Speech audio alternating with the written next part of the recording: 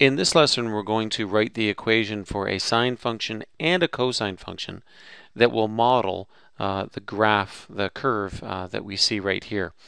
So uh, this is a skill that you're going to have to do. Um, we've learned how to uh, certainly, you know, given an equation, graph uh, a function. Well, this is the opposite.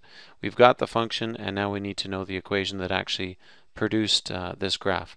So to get started, um, we need to take a look and and do some analysis of uh, sort of the graph and we'll pull out some important features okay?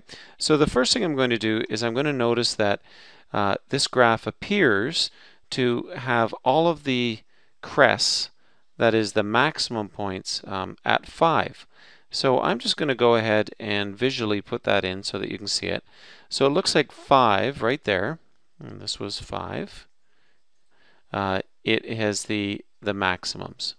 Okay, so that was a 5 right there. Um, where are the minimums?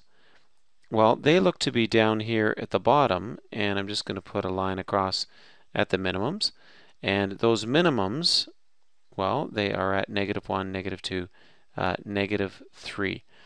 So the total distance between the 5 and the negative 3 is 8. Okay?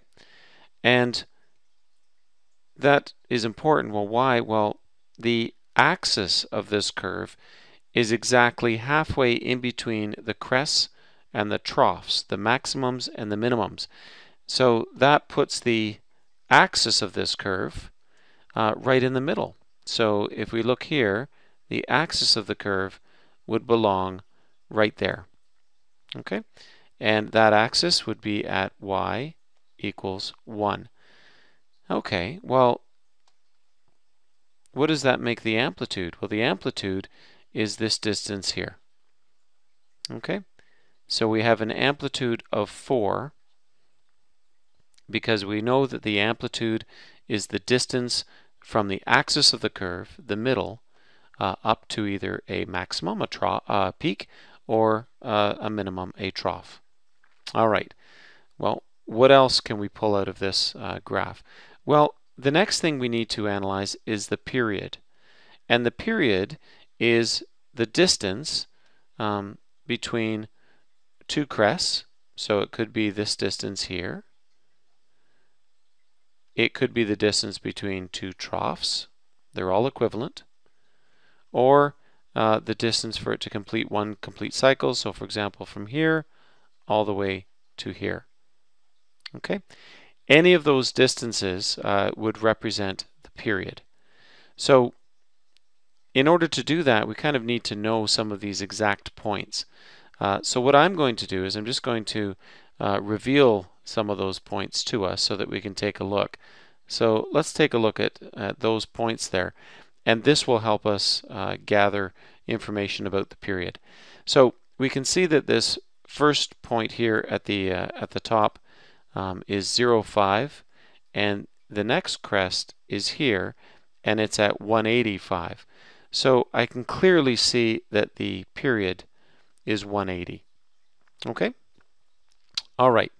Well, let's summarize some of this information uh, that we have for the uh, for the sine curve here. So the period, uh, which is the distance between two crests, two troughs, is 180. We know that the amplitude, well, it was 4. We know that the axis was at y equals positive 1. And I guess the only other thing we need uh, is we need sort of the k value. And the k value is based on the period. Now, if the period is 180, we could fit two complete cycles inside 360. And that means the k value is 2. Okay? Well, how else can we get this k value of 2? Well, all we do is we take 360 and we divide it by the period length that we have observed, and that gives us our k value of 2. All right? Okay, so this is all the information we need to be able to start to graph or to uh, write an equation here, the last piece of the puzzle depends on if we are trying to write a sine or a cosine function. All right, so let's assume that we're going to write a sine function first. Well, what we have to do is we have to look at the graph and we have to try to pick out where we see a sine function. Okay, now I'm going to pick out a couple, but we'll use just one of them, just to show you that there's a bunch of them sitting in there. Uh, I see one sine function actually starting here and going down and back up like that. Okay, so if you see that, that's a sine function. Uh, I see another one right here and going up there.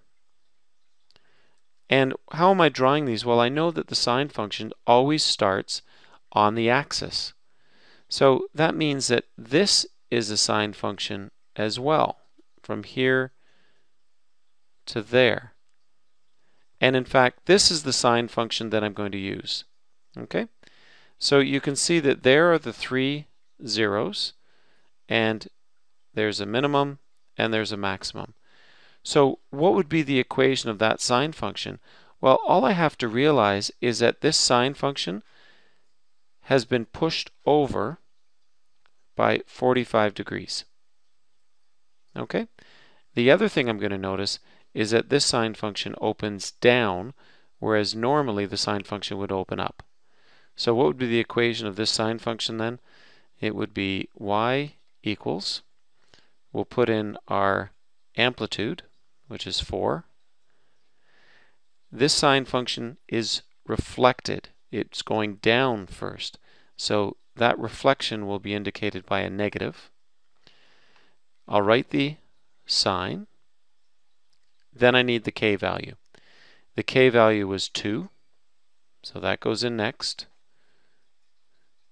Then I need the shift.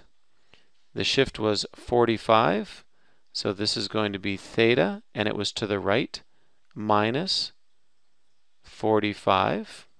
It's kind of small, but there we go. And then finally, the axis at the end, plus 1. So that's the cos or the uh, sine function. Now, what if we wanted it to be represented as the cosine function? Well, that would be just as easy. All we have to do is go looking on the graph for a cosine function. And if we look pretty closely, we don't have to look too far. There is the cosine function right there. Okay? It actually lines up perfectly uh, with the zero. So for a cosine function, we're not going to have any phase shift to the left or right. It is going to share the same amplitude, and it is going to share the same axis, but that is about it. So we'll write y equals it is the normal cosine function, so it's not reflected, so it won't be negative, but it does have an amplitude of 4.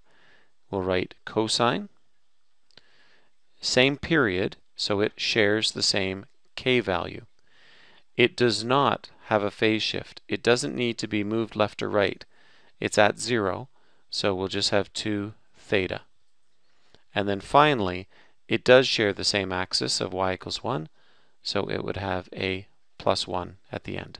Okay, so if you were asked to model this curve here using either the sine function or the cosine function, one solution, there are others, for the sine function is that one, and one solution, there are others, for the cosine function is that one.